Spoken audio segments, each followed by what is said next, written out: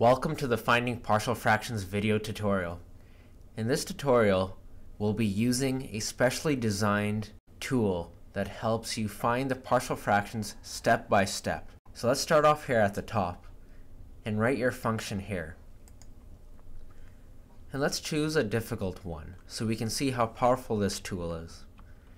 Let's choose f at x equals x plus 5 divided by x squared plus 7x plus 12. And let's also put a square on the denominator. Now this function is really difficult to decompose into partial fractions by hand. As we know, in any partial fractions problem, the first step is to try to factor the denominator. And as you can see here, the denominator decomposes into x plus 4 squared times x plus 3 squared. Now the only part where you'll have to do any work at all with this tool is that you'll have to write out the general form of the partial fractions in terms of constants a, b, c, and d, and so forth. And if you're not sure about how to find the general form of the partial fractions in terms of constants, please refer to the Integration by Partial Fractions worksheet. The general form of the partial fractions is a over x plus 4 plus b over x plus 4 squared plus c over x plus 3 plus d over x plus 3 squared.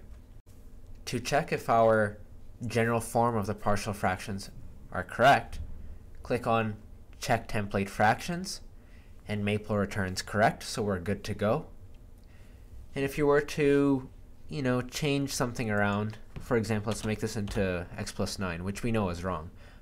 Check template fractions, and Maple claims the template fractions are not correct. Please check your work. So therefore, let's change that back. And so we now know how the checking system works. Now let's determine the constants. This is the identity right here. And let's multiply both sides of this identity by the denominator of the fraction on the left.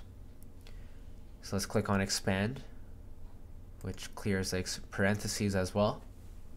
And we get this huge equation. Let's scroll down a little bit and collect like terms and bring everything onto one side. And so Maple takes this big equation right here, takes everything onto one side and collects like terms. And now we have to solve for the constants we know that the equations that we have to solve are c plus a equals 0, this coefficient equals 0, and so forth. And so Maple forms a matrix. When you just click on Form Equations, it returns a, a matrix, and it also solves it for you and gives you the values of the constants, which are shown right here a equals 3, b equals 1, c equals negative 3, and d equals 2. And the next step is to replace our previous general constants with these values that we had over here.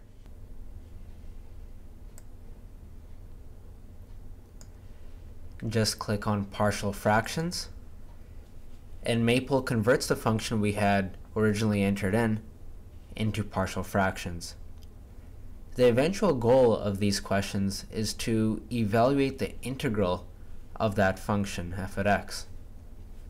Now that it's in a convenient partial fractions format, it's possible to do this integral by hand now. It's much easier this way. We can simply click on Evaluate Integral, and Maple returns the integral of the function.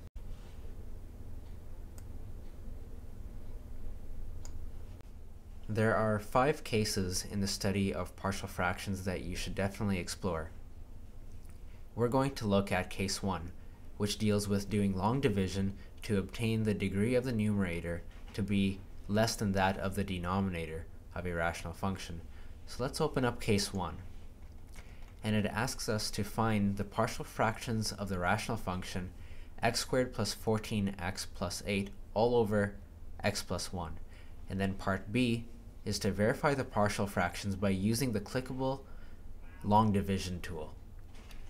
Part A. Write the rational function in math mode. Just make sure you're in math mode and begin entering the function, which is x squared plus 14x plus 8, all divided by x plus 1. Step 2. Apply the context menu to the rational function. Go to conversions, partial fractions with respect to x. And this is by far the fastest way in Maple to obtain the partial fractions of any rational function. But if you would like to know the details in terms of what is the remainder, what is the quotient, what is the divisor, and so forth, this clickable tool provided here will give you all that. So we have the same function here. Let's click on divide. And it yields the same answer, so we know it's correct. The dividend is provided, and same goes for the divisor, the quotient, and the remainder. Thank you for watching the Maple Adoption Program's Finding Partial Fractions video tutorial.